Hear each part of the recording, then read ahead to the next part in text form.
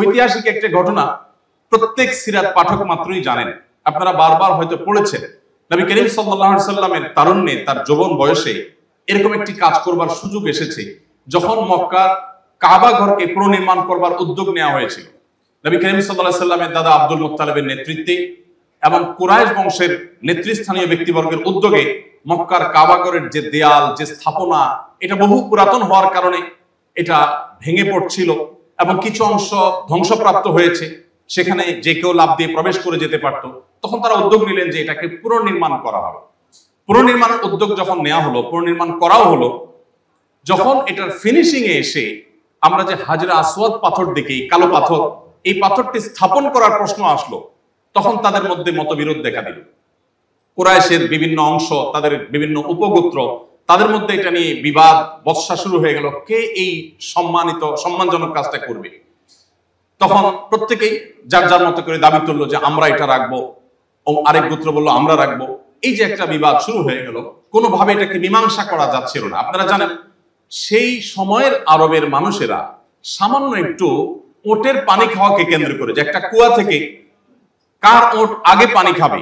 কার ওট পরে পানি পান করবে। জাস্ট এই ছোট্ট বিষয়কে কেন্দ্র করে তারা যুদ্ধে লিপ্ত হয়ে যেত এবং যুগ যুগ ধরে প্রজন্মের পর প্রজন্ম তারা সেই যুদ্ধকে ধরে রাখত।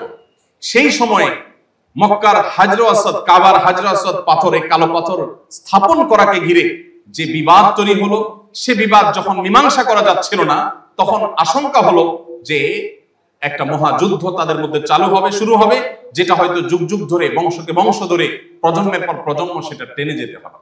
এরকম কঠিন সময়ে তারা সিদ্ধান্ত নিল, ঠিক আছে, আমরা যেহেতু বিবাদমান পরিস্থিতিতে কোনো ঐক্যমতে পৌঁছতে পারছি না, আমরা এমন এক ব্যক্তির মীমাংসাকে সবাই মেনে নিব, আমরা একমত হই। যে ব্যক্তি আজ আমাদের এই আলোচনার পর সবার আগে কাবা ঘরে এসে প্রবেশ করবে। আল্লাহ রব্বুল আলমের ইশারা ছিল, নবী করিম সাল্লাহ সাল্লাম বিশ্বকে নেতৃত্ব দিবেন। তার আদর্শ পৃথিবীর সবচেয়ে শক্তিশালী আদর্শ হবে, তার অনুসারে পৃথিবীর সবচেয়ে বেশি হবে। তিনি পৃথিবীতে সবচেয়ে বেশি সময় ধরে অমর থাকবেন। এরকম একজন মহামানবকে আল্লাহ রব্বুল আলমী তার তারুণ্য থেকেই সমাজে বিবাদমান, বিভিন্ন ঝগড়া, ফাসাদের, বিভিন্ন বিবাদমান যে মতপার্থক্যগুলো আছে সেগুলোকে মীমাংসা কাজে ব্যবহার করবেন। আল্লাহ তালা তার রসুল মোহাম্মদ সাল্লাহ সাল্লাম তরুণ মোহাম্মদ সাল্লাহ সাল্লামকে মসজিদে প্রবেশ করলেন। তখন তিনি নবুয়তের দায়িত্ব বুঝে পাননি। তিনি যখন মসজিদে প্রবেশ করেছেন, সবার আগে সবাই খুশি হয়ে গেল যে এমন একটা লোক আজ সবার আগে মসজিদে প্রবেশ করেছে যে লোকটার বিশ্বস্ততা নিয়ে তার আন্তরিকতা নিয়ে, তার আমানতদারিতা নিয়ে, তার পেশাদারিত্ব নিয়ে, তার ভালো মানুষ হওয়া নিয়ে আমাদের কারও কোনো দ্বিমত নেই। সবাই খুশি হয়ে গেছে। তারপর মোহাম্মদ সাল্লাহ তারা বলল, যে আমাদের মধ্যকার এই বিবাদকে কীভাবে মীমাংসা করা যায়, আপনি সমাধান দিন। নবী করিম সাল্লাহ সাল্লাম বললেন, একটি চাদর আপনারা আমাকে দিন।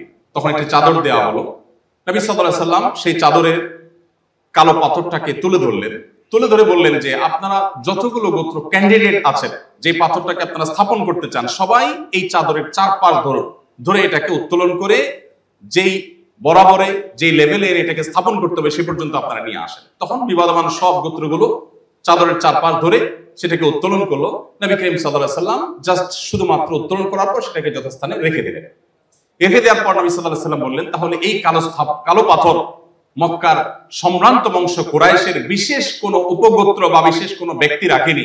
আজ আপনারা সবাই মিলে এই পাথর স্থাপন করলেন। সবাই খুশি হয়ে গেল, মীমাংসা হয়ে গেল, তাদের বিবাদ দূর হয়ে গেল এবং সমস্যার সমাধান হয়ে গেল।